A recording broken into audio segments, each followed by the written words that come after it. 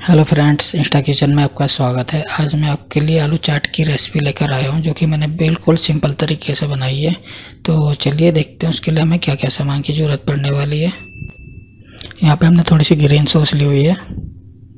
ये हमने एक प्याज ली थी, इसे कट कर लिया छोटा छोटा एंड एक चम्मच के अराउंड हमने चाट मसाला लिया हुआ है। एंड छः से सात आलू लिए हैं। बॉयल्ड आलू हैं ये।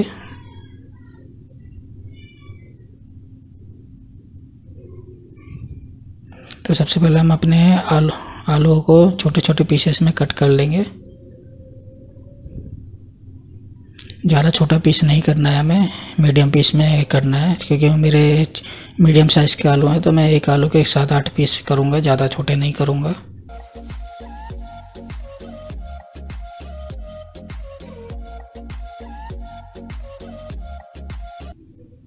देख सकते हैं आप, ऐसे ही आपको अपने आलू कट कर लेने हैं। देखिए, हमने कट कर लिया तो चलिए अब बनाना स्टार्ट करते हैं। जब हमने कढ़ाई ली हुई है, इसमें हमने थोड़ा सा ऑयल डाल दिया है, गर्म होने के लिए छोड़ दिया इसे। हमारा ऑयल गर्म हो चुका है तो हम अपने आलू डाल देंगे इसमें और इन्हें फ्राई करेंगे। हमें आलू को तब तक फ्राई करना है जब तक कि ये गोल्डन ब्राउन ना हो जाए और फिर हम हम हाई रखेंगे ताकि हमारे आलू थोड़ा जल्दी फ्राई हो जाए। क्योंकि हमने उबले हुए आलू लिए थे तो इनके कच्चे होने का सवाल नहीं रहता। तो बस हमें इन्हें अच्छे से फ्राई करना है ताकि ऊपर से क्रंची हो जाए। तो इसे ऐसे ही हम फ्राई कर लेंगे बीच बीच में चलाते रहेंगे, ताकि हमारे चारों तरफ़ से आलू अच्छे से फ्राई हो जाए।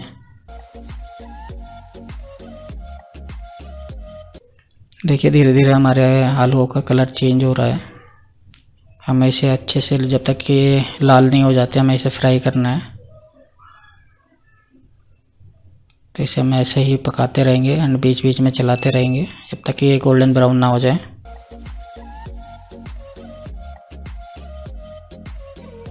देखिए फ्रेंड्स, ये येलो पड़ गए हमारे आलू, काफ़ी हद तक इनका कलर चेंज हो गया है। इसे हम दो से तीन मिनट और पकाएँगे ऐसे ही तेज़ फ्लेम में। उसके बाद हमारे आलू पक जाएँगे। ये जितने क्रंची होंगे, उतना ज़्यादा हमारे आलू चाट का टेस्ट आएगा।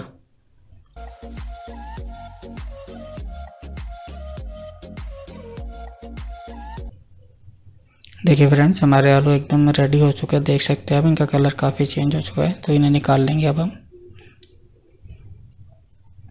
तो फ्रेंड्स चलिए अब हम इसे रेडी करते हैं हमारी आलू चाट। बाउल में आलू डाल दिए हमने। तो इसमें अब हमने चाट मसाला डाल देंगे आधी चम्मच। आप अपने टेस्ट के अकॉर्डिंग डाल सकते हैं, कैसा खाते हैं आप। और इसे अच्छे से मिक्स करेंगे। साथ ही इसमें ग्रीन चटनी डाल देंगे हम, जो हमने ली थी। ग्रीन चटनी भी आप टेस्ट अकॉर्डिंग डाल सकते हैं, कितनी आपको पसंद है, कितनी नहीं। ये ग्रीन चटनी मैंने घर पे बनाई थी। मैं इसकी रेसिपी भी बहुत जल्दी आपके साथ शेयर करूँगा। अच्छे से मिक्स कर देंगे इन्हें। तो चलिए इन्हें हमें निकाल लेते हैं।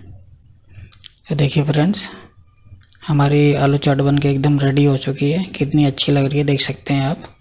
ये खाने में भी बहुत टेस्टी बनी है। तो एक बार आप इसे अपने घर पे ज़रूर ट्राई कीजिएगा। आई होप आपको मेरी रेसिपी पसंद आई होगी। अगर आपको मेरी रेसिपी पसंद आई हो तो प्लीज़ मुझे कमेंट करके एक बार ज़रूर बताएँ। और मैं ऐसे ही नई नई रेसिपीज़ आपके लिए लाता रहूँगा। Thank you so much